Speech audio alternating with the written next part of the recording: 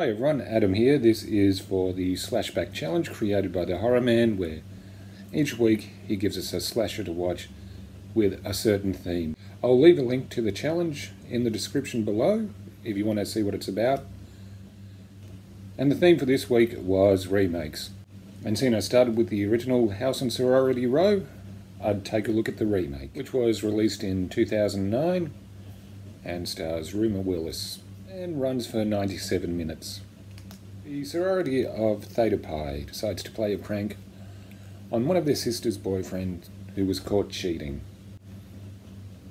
And I don't think I'm spoiling it for you when the prank goes wrong and somebody dies. I bet you didn't see that coming. So they decide the best thing to do is throw the body down a well and make a pact that nobody tells anybody what happened. And then Jennifer Love Hewitt, oh wait, wrong movie. So during the graduation party, people who are associated with what happened are getting murdered. And of course, who's doing the killing? Is it the person they killed or is it somebody else? That's a mystery here.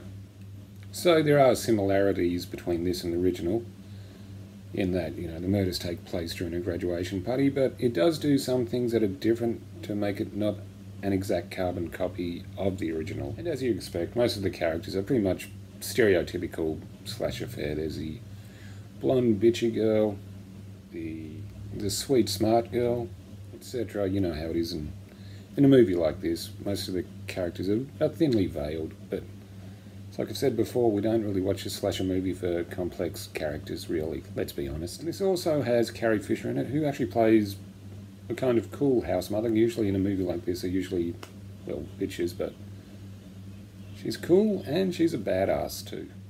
I will say this though, it's a very slick looking movie though.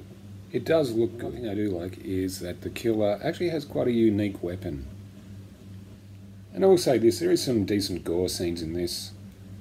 But as a whole, it's decidedly average. If I was going to score it, I'd give it about a 5. It has some entertainment value, and the cast are all pretty good, actually.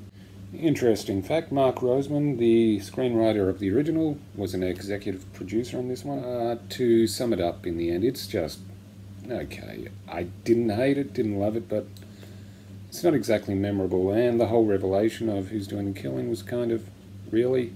So that's going to sum it up for Slashback Saturday. See you again soon.